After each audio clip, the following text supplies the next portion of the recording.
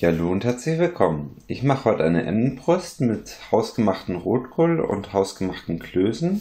Dazu habe ich eine Entenbrust.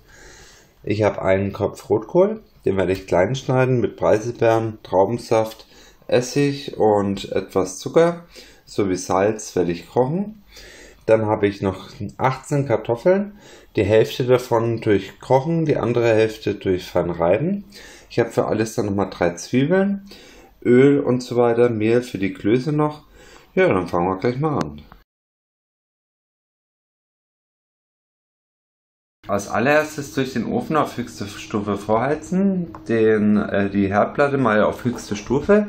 Ich habe einen großen äh, Kochtopf für den Rotkohl. Genau, dann geht's gleich weiter.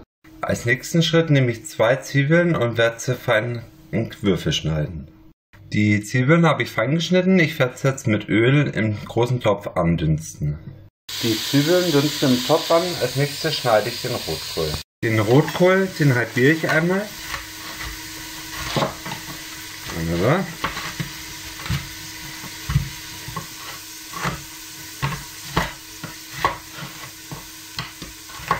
So, gut. Dann noch einmal vierteln. Dann tue ich das schon mal auf Seite. Den Strunk, den schneide ich raus. Da ebenfalls. Ja. Gut. Schon mal rüber.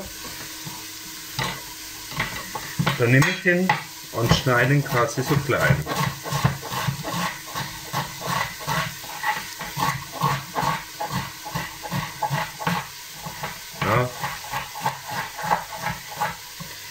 Den Rotkohl für sich selber nehme ich gleich und tue in den Topf rein. Genau, so mache ich das mit den restlichen Vierteln ebenfalls.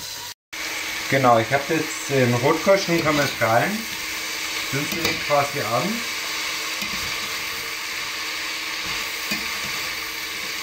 Ja.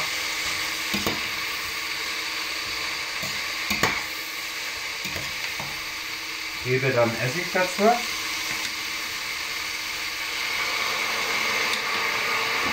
Zucker. Vom Traubensaft nehme ich ein Dreiviertel. Na, ein bisschen noch. Den Rest brauche ich für die Soße. Dann habe ich hier noch Preiselbeeren. Nur einen Löffel. Die Preiselbeeren gebe ich ebenfalls komplett rein. So, Einmal komplett rein damit. So, das Gefäß soll ich noch auswaschen. Ich habe jetzt komplett Wasser rein. Einmal ordentlich durchschütteln. Und das Ganze fülle ich dann noch auf mit Wasser. So. Gut. Das reicht. Genau, das Ganze durch dann ordentlich vermengen.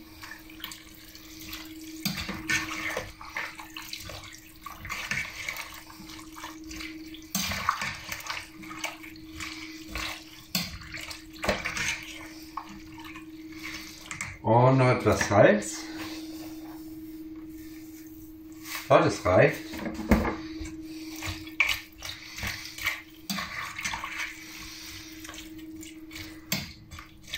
Genau, das Ganze darf jetzt richtig durchkochen.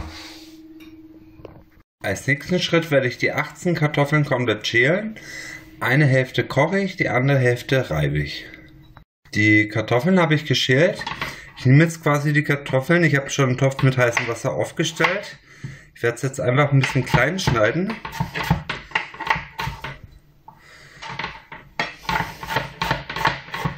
Genau, so ein grobe Würfel und werde die dann im kochenden Wasser kochen. Die werde ich derweil reiben.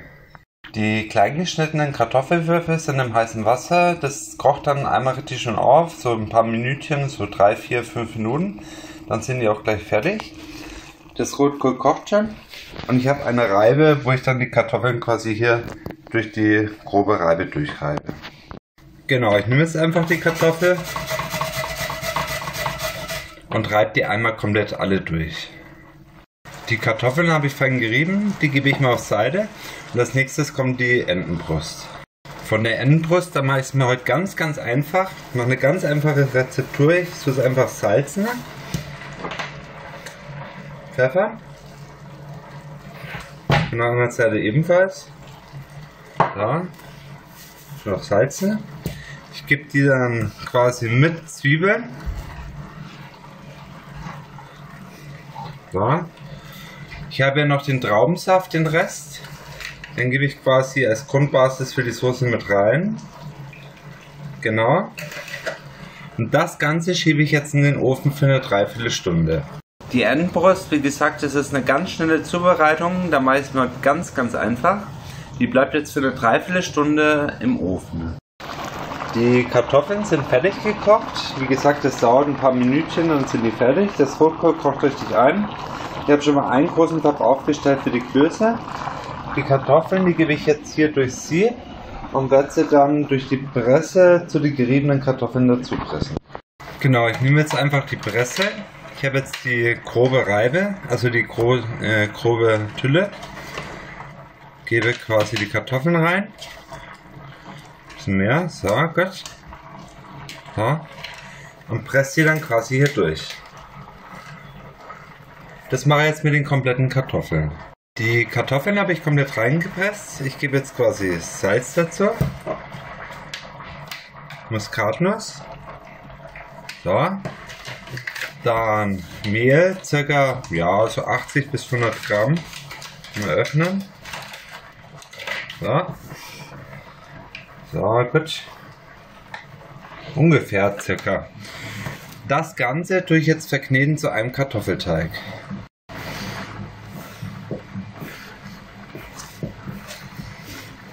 Sagt der Teig, der ist noch sehr, sehr heiß. Der muss aber auch heiß verarbeitet werden, da kommt ja kein Ei rein. Das ist dann allein durch die Kartoffel und durch die Mehl ähm, kann ich daraus dann Klöße machen. Genau, den mache ich jetzt mal fertig und dann werde ich Klöße drehen. Den Kartoffelteig habe ich gut vermengt. Die Hände habe ich etwas nass gemacht. Ich nehme jetzt quasi etwas zum Kartoffelteig, drehe Klöße und gibst dir gleich ins kochende heiße Wasser. Genau, immer so schöne kleine mache ich heute diesmal nicht allzu groß. So, gibst du gleich ins Wasser und so verarbeite ich mal den kompletten Teig. Die Klöße habe ich abgedreht. Die dürfen jetzt einmal richtig aufkochen und müssen dann mindestens 20-25 Minuten lang durchziehen. Die Klöße kochen jetzt richtig durch. Die habe ich jetzt mal auf Stufe 1 gestellt. Das Rotkohl, das kocht noch derweil. Und die Entenbrust, die ist im Ofen. Und das darf jetzt alles durchköcheln und durchbraten. Und dann ist dann in einer halben Stunde alles fertig. Das Rotkohl ist jetzt nach ein bisschen über einer Stunde richtig schon eingekocht. Ich habe etwas Mehl, etwas Wasser und ich werde eine Mehlbinde anrühren und werde es dann quasi abbinden. Von der Mehlbinde, das ist eigentlich relativ easy. Ich nehme Mehl, gebe etwas Wasser dazu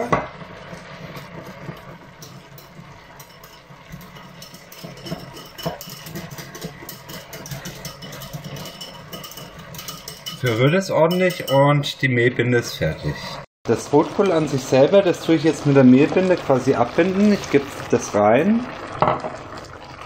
Verrühre das ordentlich. Voller.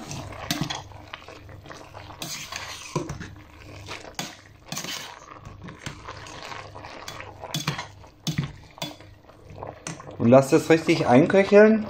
Ich werde es dann nach ein paar Minuten ausschalten, wenn es abgedickt ist. Die Entenpost nehme ich jetzt nach einer Dreiviertelstunde raus. Die Soße lasse ich noch ein bisschen einköcheln. Die Entenpost habe ich rausgenommen. Die Soße lasse ich noch einmal aufkochen. Das Rotkohl schalte ich jetzt aus. Die Klöße, die sind fertig. Und ich werde dann alles gemeinsam anrichten. Von der Entenpost, ich habe die jetzt quasi mit der Kruste nach unten gelegt. Schneide die quasi auf. Solche schönen Stücke. So.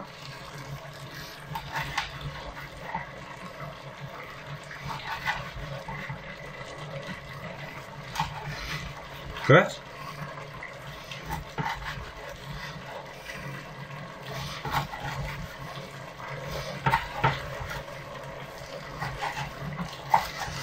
Genau, und dann kann ich ja auch schon servieren. Ja, ich habe alles schön dekorativ angerichtet. Ich wünsche euch dann wieder ganz, ganz viel Spaß beim Nachkochen. Ja, wir lassen es uns jetzt schmecken. Dann bis zum nächsten Mal. Liebe Grüße, Daniel. Tschüss.